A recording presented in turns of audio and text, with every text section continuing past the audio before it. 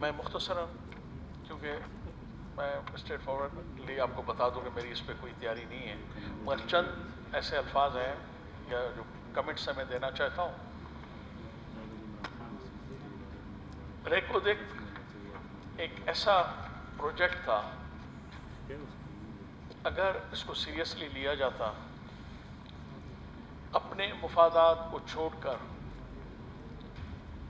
بلوستان کے عوام کے مفادات کو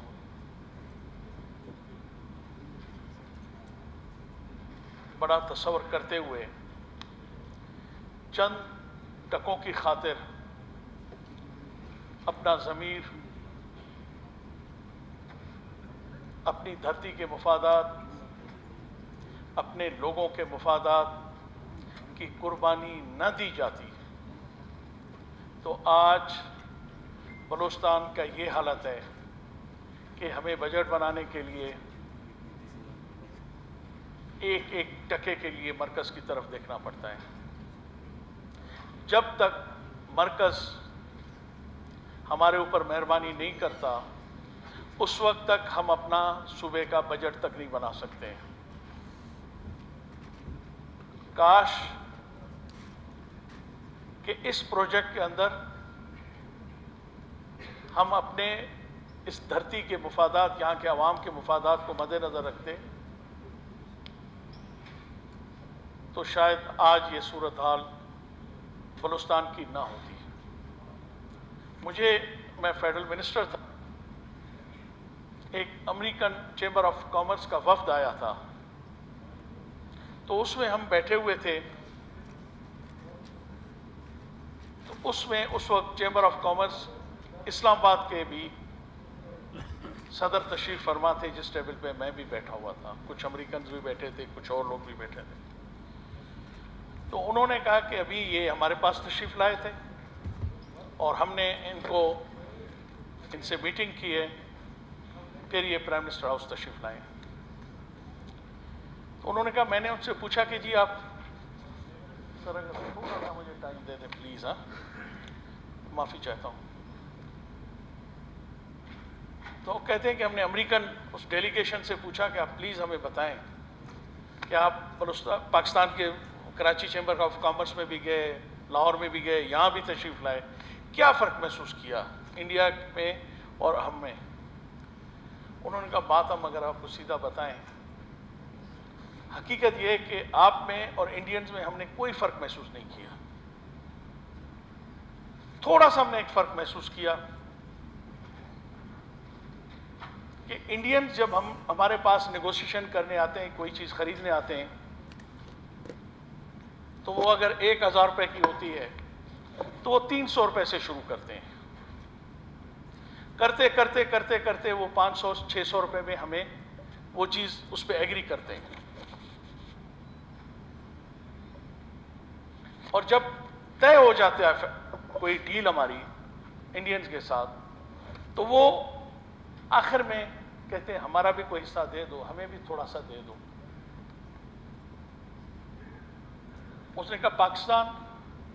اس نے کہا، یار، پاکستانیوں کی ایک بہت اچھی خوبی ہے۔ وہ کسی مقصد کے لیے آتے ہیں، ہم سے جب ڈیل کرتے ہیں، سب سے پہلے کہتے ہیں کہ ہمارا کمیشن بتاؤ، پھر ہم آپ سے ایگریمنٹ کریں گے۔ وہ نیگوزیشن کے بعد مانگتے ہیں۔ ہمیں ہزار سے پانچ سو پہ لے آتے ہیں۔ اور آپ کے لوگ اتنے اچھے ہیں۔ سب سے پہلے کہتے ہیں کہ ہمارا کمیشن طے کرو، پھر ہم سے آگے بات کرو۔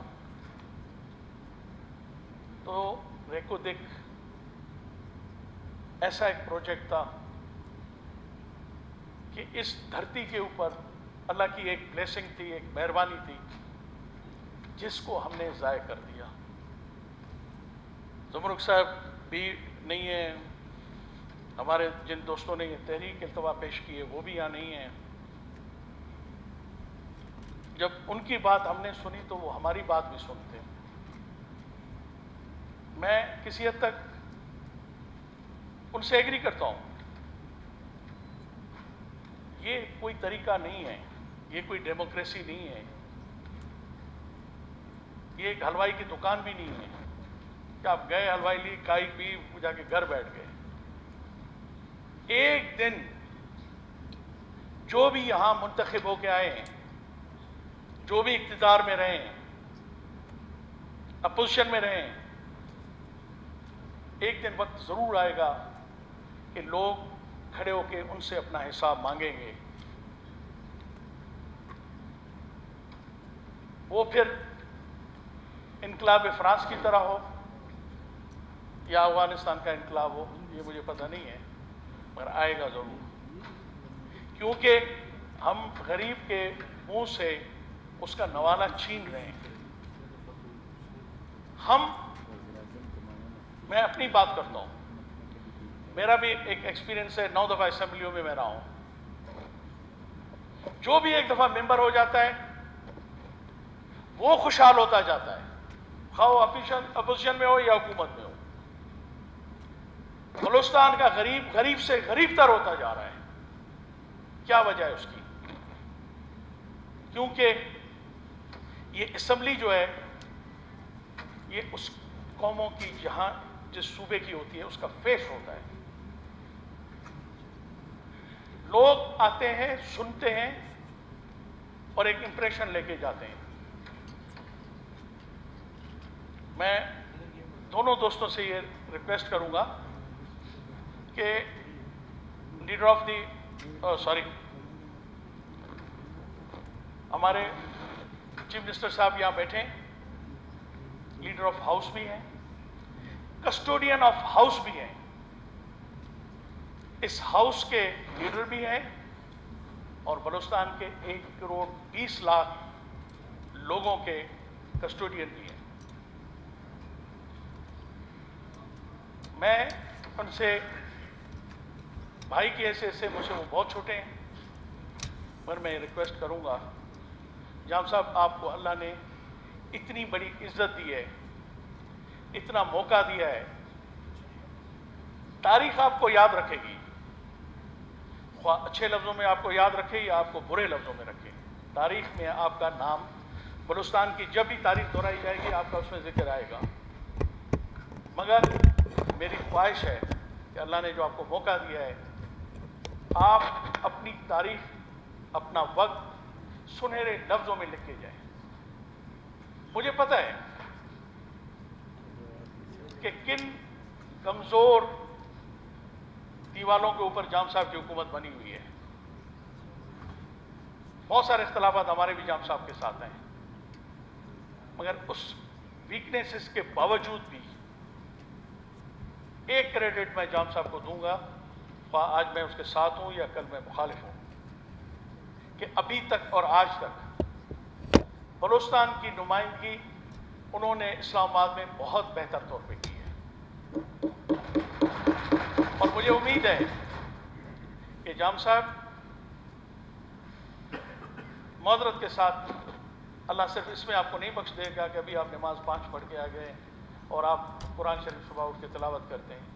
اللہ نے جو آپ کو ذمہ داری دی ہے، قیامت کے دن سب سے پہلے وہ پوچھی جائے گی اللہ کہتا ہے کہ تمہارے ذاتی اعمال تمہارے ہیں، مگر خلق خدا اللہ کی مخلوق، اس کا سب سے پہلے آپ سے پوچھا جائے گا۔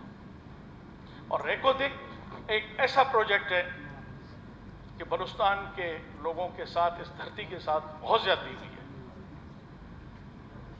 جنہوں نے اس کا ایگریمنٹ کیا ہے، ان کا بھی احتساب ہونا چاہیے۔ جنہوں نے اس پروجیکٹ کو توڑا ہے۔ ان کا بھی احتساب ہونا چاہیے۔ صرف یہ نہ ہو کہ یہ جی گزشتہ تھا، اس کو چھوڑ دو۔ یہ آپ کا ماضی آپ کو نہیں چھوڑے گا۔ ہاں مستقبل کے لیے آپ اپنے بہتر فیصلے کر سکتے ہیں۔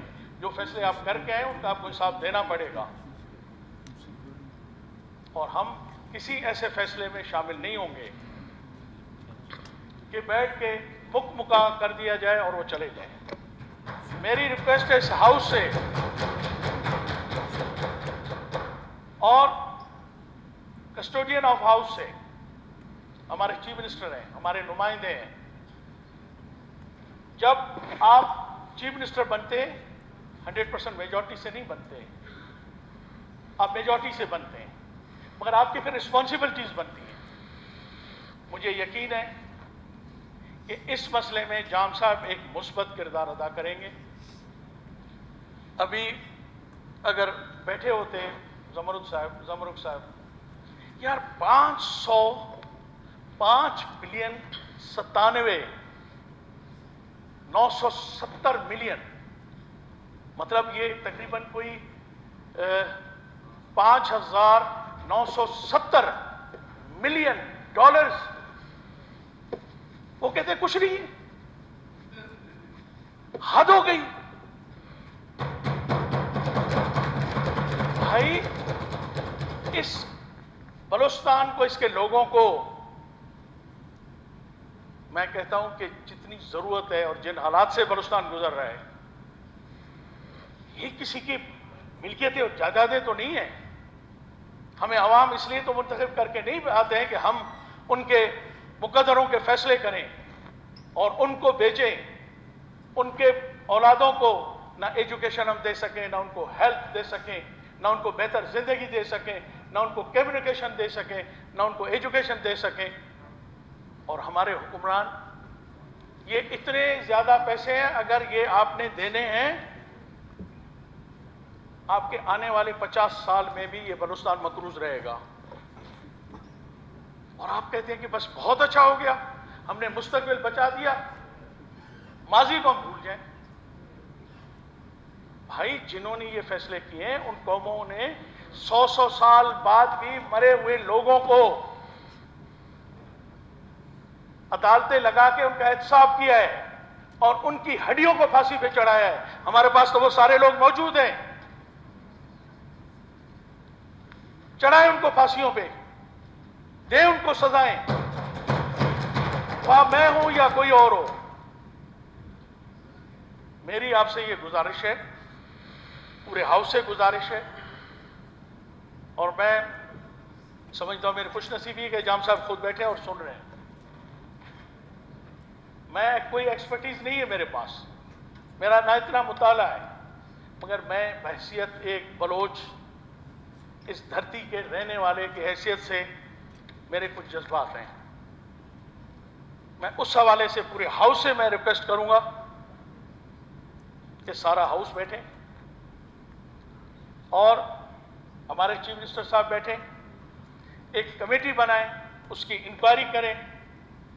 شکر الحمدللہ، میں نے ابھی بھی جام صاحب کو کہا ان کو بہت اچھا موقع ہے۔ نہ وہ معاہدہ کرنے والوں میں شامل ہے نہ توڑنے والوں میں بھی شامل ہیں۔ اور یہ بلوستان کے اوپر احسان کر کے جائیں تاکہ جو کچھ ہمارے ساتھ ہوا ہے، آگے ہمارے ساتھ نہ ہو۔ تو میں پورے ہاؤس سے یہ ریکویسٹ کروں گا اپوزیشن میں بیٹھیں یا حکومت میں بیٹھیں اس پہ ایک کمیٹی بنائی جائے اور ہر پارٹی کو اس کی نمائندگی دی جائے۔ اور پھر وہ جو کمیٹی فیصلہ کرے، اس پہ عمل درآمد ہونا چاہیے۔ میں جناب چیئرپرسن صاحب، آپ کا اس ایوان کا بہت شکر گزار ہوں کہ انہوں نے میری بات سنی اور مجھے موقع دیا۔ بہت بہت شکریہ۔ شکریہ صدر صاحب۔